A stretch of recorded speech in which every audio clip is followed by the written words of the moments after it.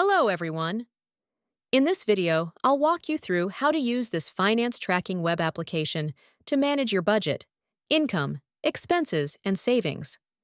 Plus, you'll see how to view a beautiful summary of your finances like this.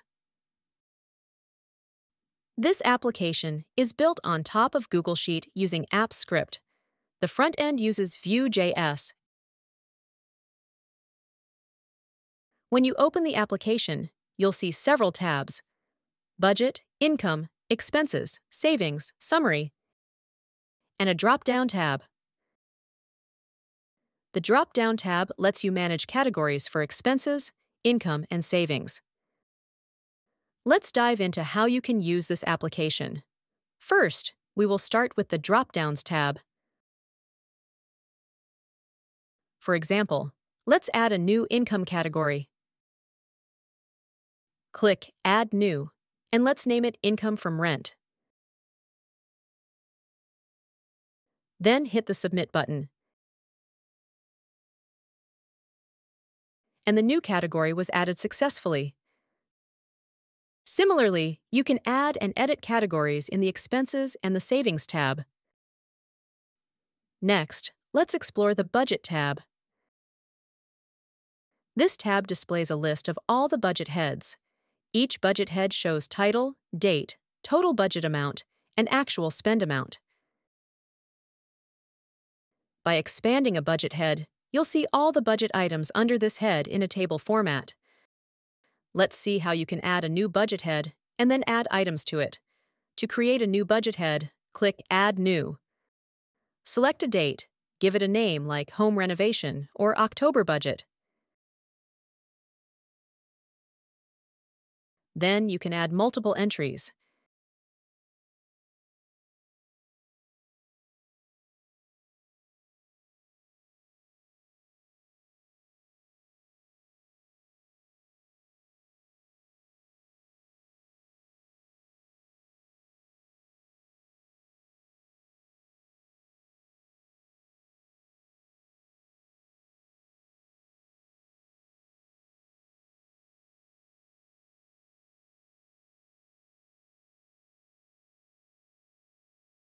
You can leave the actual amount blank and update it later.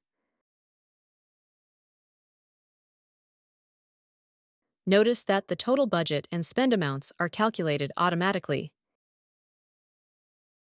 Hit Submit to save the budget. And you can see our entry was recorded successfully. You can very easily edit or delete the selected row by clicking these Edit Delete buttons.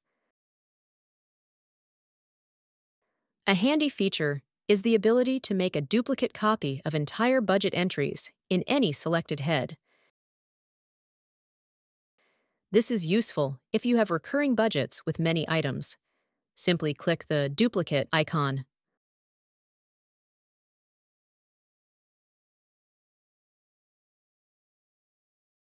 Once saved, adjust the date and title, and modify the amounts as needed.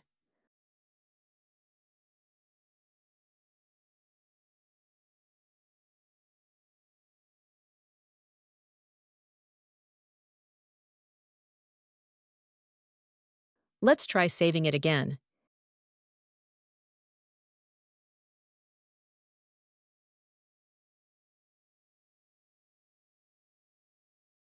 And you can see our changes were saved successfully. This feature can save you a lot of time when managing recurring budgets with many items. Now, coming to the Income tab.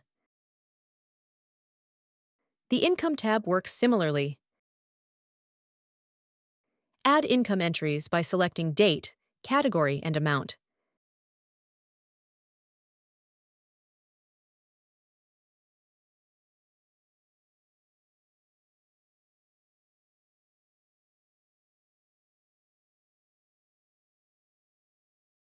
The Expenses and Savings tabs follow the same process.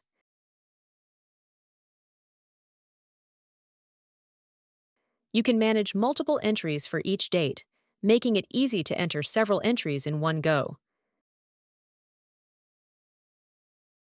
In the Summary tab, you'll find a consolidated view of your income, expenses, and savings month by month.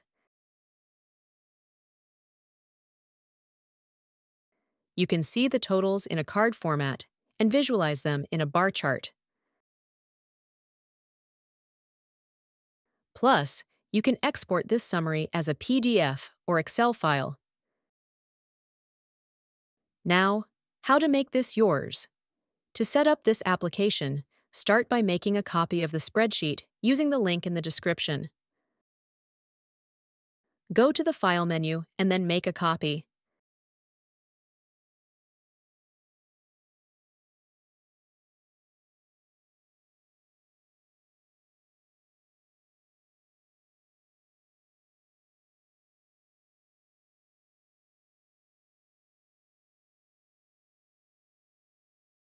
Next, open the script editor by going to Extensions and then App Script.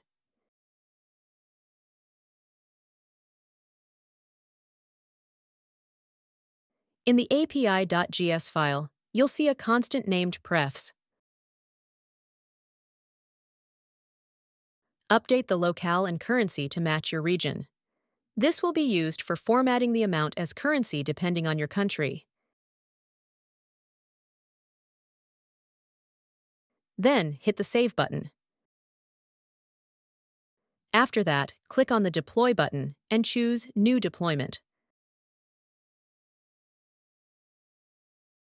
Set the deployment type to Web App. In the description, give it a name like version 1. For the Execute As section, choose Me. And in the Who Has Access section, choose Only Myself. Then hit Deploy. You'll be asked to authorize the code. Go ahead and grant the necessary permissions.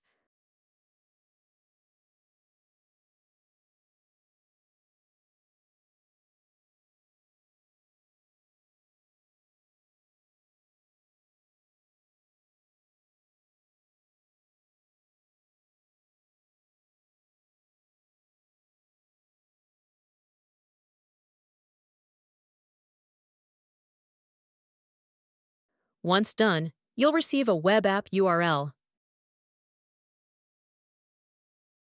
Open it, and your application is ready to use.